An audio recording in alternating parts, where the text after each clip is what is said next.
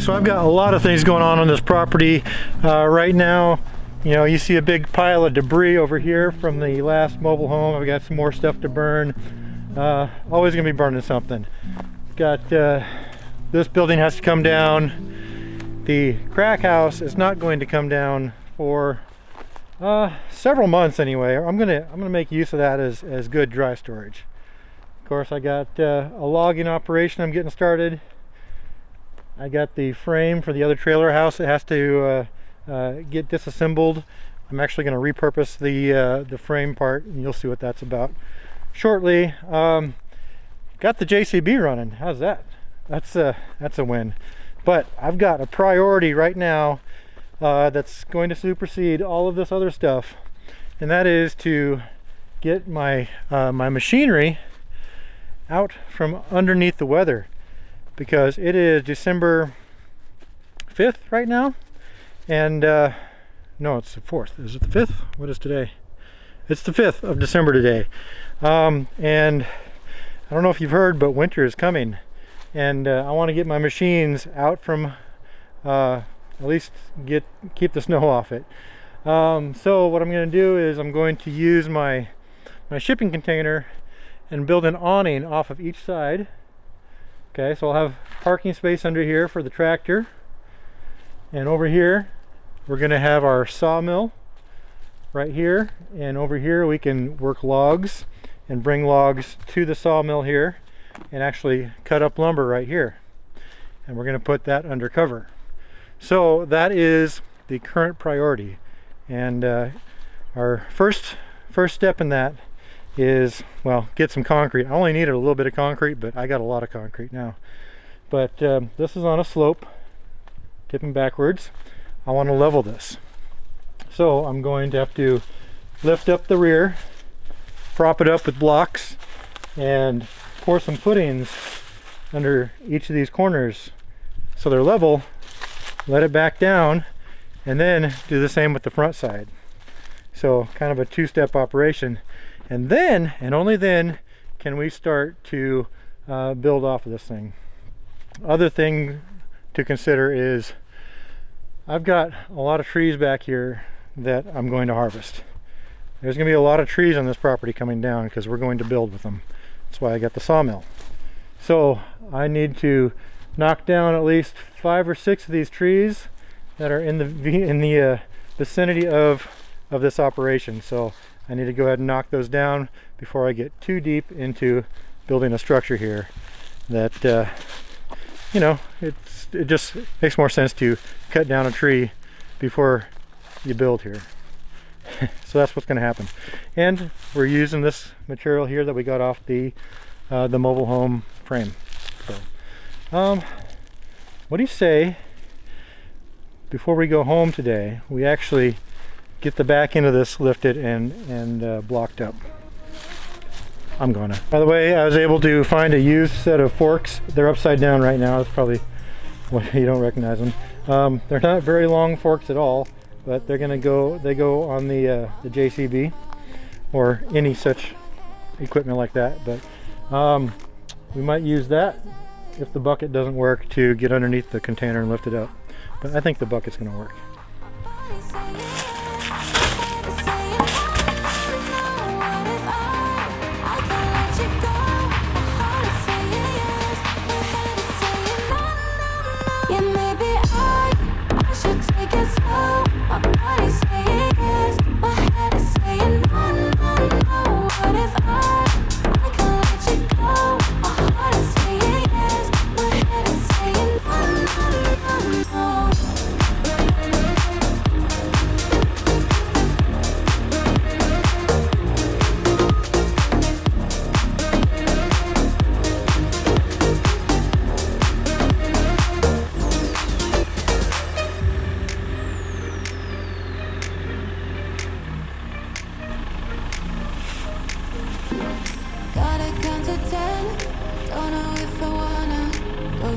again. Why am I even bothered? Gotta keep my head high above the water. That is what they said.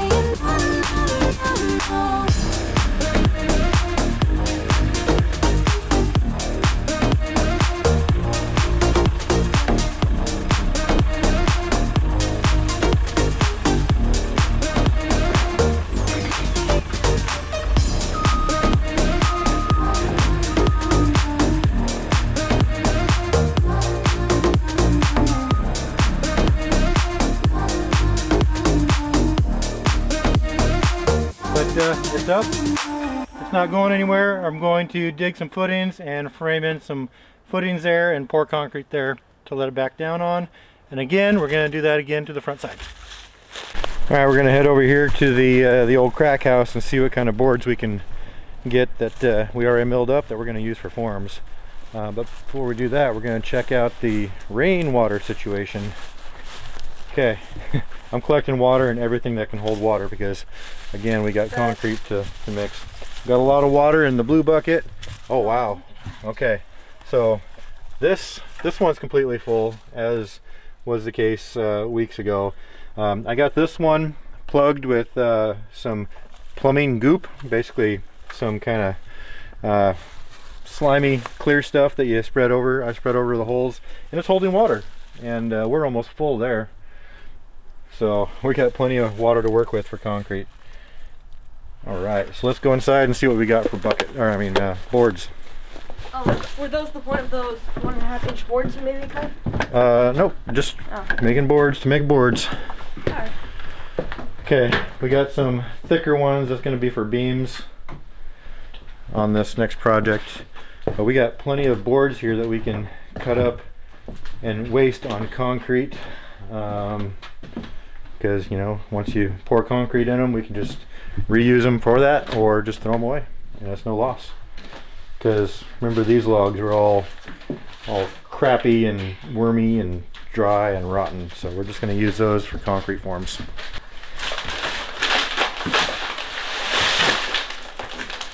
You got it. Looks like I can hold it, but not for long. Might be a little too much for you. Yep. All right, so a couple more years for that. Yeah.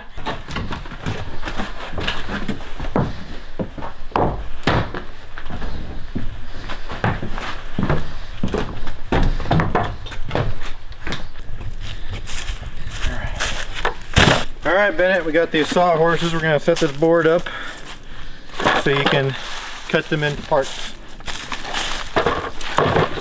Okay, Bennett, so uh, I'm gonna have you cut these uh, into sections that we're going to make a box from, and you're gonna we're gonna then uh, uh, put them underneath the corners on a uh, prepared surface, and then we're going to fill them with concrete and let them dry for about a day.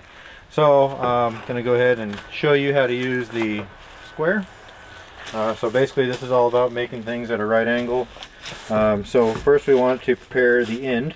So this is obviously not cut off uh, square. So we're going to cut it square. Uh, you got your pencil. Go ahead. Okay. Great. Okay. So let's go ahead and make our next line to 12 inches. Let's call it 13 inches. Alright. And that's actually that's actually go on the outside. And that's going to give us a total of 15 inches. Okay. Okay, so we're going to need two sides that are 15 inches, Okay. right? And then uh, we'll do uh, two more that are inside. Okay. Okay. That's assuming our thickness is one inch, which it is not. It's actually seven eighths. Yep. That's about an inch, whatever. It, it doesn't have to be perfect, Screw right? it. So, Just screw it. so you're gonna do two boards that are measured from the outside, and two boards that are measured from the inside. Okay. Okay, and then we'll put those together in a box and uh, fill them with concrete tomorrow or the next day. Okay, so you want to get all the way over here. Start with this one. Just follow that line and get all the way through it. Okay, check this out. You're going to use your thumb as a guide. And you can, here, let me show you first. So use your thumb right here as a guide and a brace. And you want to pull, okay? To, to get it started, you want to pull. Okay. Okay, and then once you create that groove, you can start going back and forth.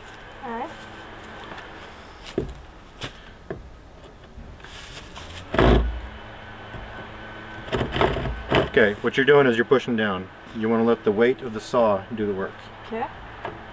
So, so, okay, always be making adjustments to follow your line, especially at the beginning. Uh, so I finished the first cut. Um, I finished marking the all, all the other cuts that I will make, um, and I'm getting uh, started on the second one. All right, looks good. Yep. As soon as you get these done, we'll, we'll nail them all together and uh, start getting them in place and uh, seeing where level is. Okay, remember just the weight of the saw.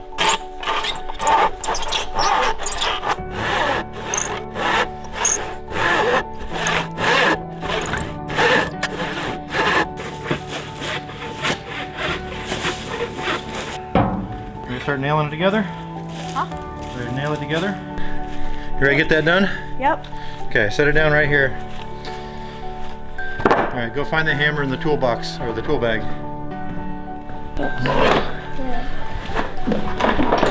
Okay, and down here I got a bunch of uh, nails that were left behind. We're just going to use those. And uh, we got free nails, free wood, free labor. Got the hammer. Got the hammer. All right, so make a make a square.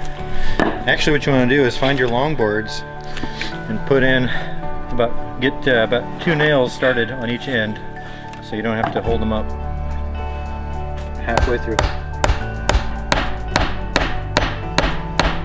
That's good. Yeah, let's take it over to the floor where it's nice and solid. That's that floor. Yep.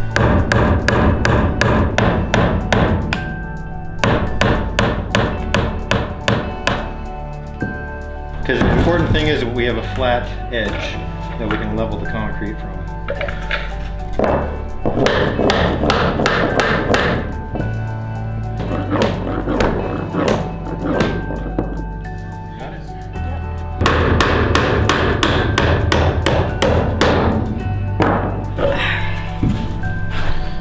Okay, remember which side is our bottom, which side is our top actually, so we want to make sure that this is aligned.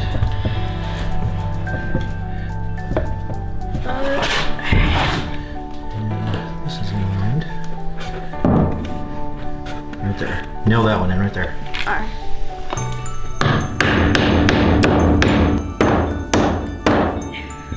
Over here. Okay. This one. All right. we got the second form done. Okay, Ben, let's go ahead and take it back to the back corner. I got the back all cleaned up here, so it's ready.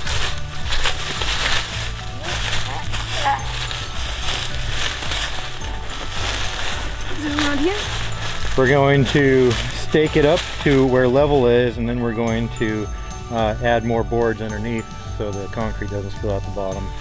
And then uh, it's time for concrete. And then once that dries and sets, we're going to lower it down on level uh, footings, and uh, then we'll do the front side. What time is it now? Go on the tractor. It's time to go get on the tractor.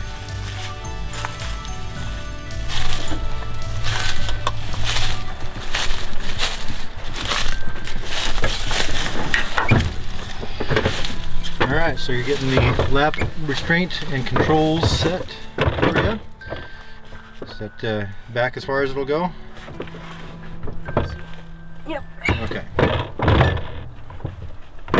All right, so here's the key. Now before you go and twist the motor on, turn it so the uh, the electrics come on. Which way? Right or To the right, one click. Okay, so right now the electrics on are on. What you're gonna do, now this is a diesel engine, okay?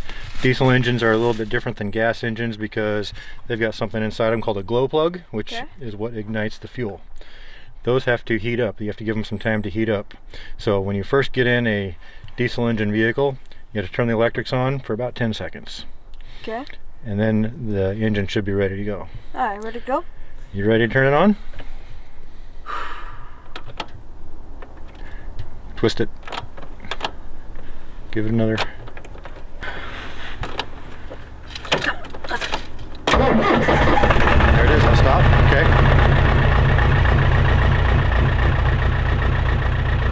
Are you nervous? Uh, late, maybe. Maybe a little bit. Okay. So on the right side controls the bucket and the arm. So you're going to pull that back to lift it up a little bit. Okay, give it a little bit of gas with your foot. Lift it up.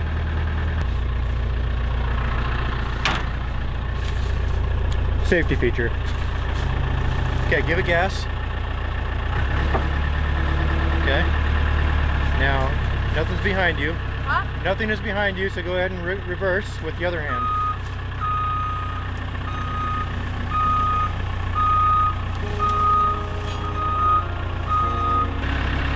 Okay, go that way.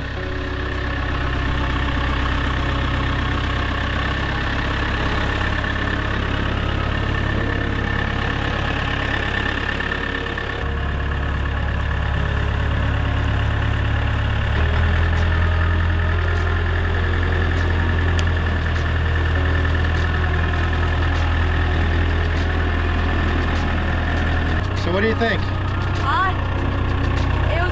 A little more scary than fun. Okay. Well, how about we go on a little trip? Let you go down the road and come back.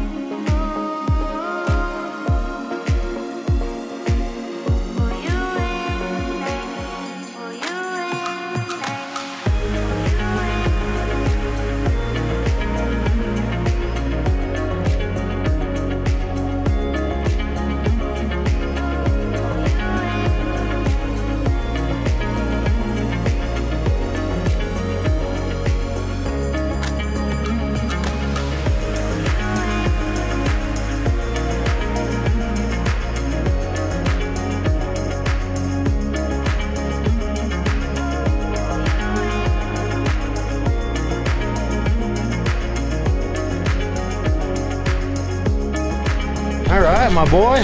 What'd you think? Uh, honestly, uh, for like the first half, it was a little more traumatizing than, uh, no, actually- Traumatizing? Actually, fun. Yeah. Uh, I'm actually kind of shaking right now. Yeah. Well, that's that's a big deal. You drove construction equipment. Yeah. The only other thing with a motor you've ever driven is a go kart, huh? Yeah. Well, that's a big deal. You can tell all your friends you drove a, a skid steer or a bobcat. Yeah. So overall, what do you think? Are you ready to start working with it? um, sure. Yeah. Well, there's some safety stuff we got to talk about first. Okay. But uh, but yeah, good job. You got out there, kind of Got my hands dirty. got your hands dirty. Yep, exactly. Good all right. before. Hey, you know what? I think we should go ahead and end the video here. Yep. Okay. We're gonna end on a really high note. Got a lot of work done today, and uh, got to teach Bennett how to drive a big truck, a big tractor. All right. So if you like what you're seeing here, and you want to see more, and you want to see what this place becomes, we don't even know, right? Yeah. Uh, go ahead and subscribe, and uh, and we'd like to have you along for the journey. See ya. See ya. Bye.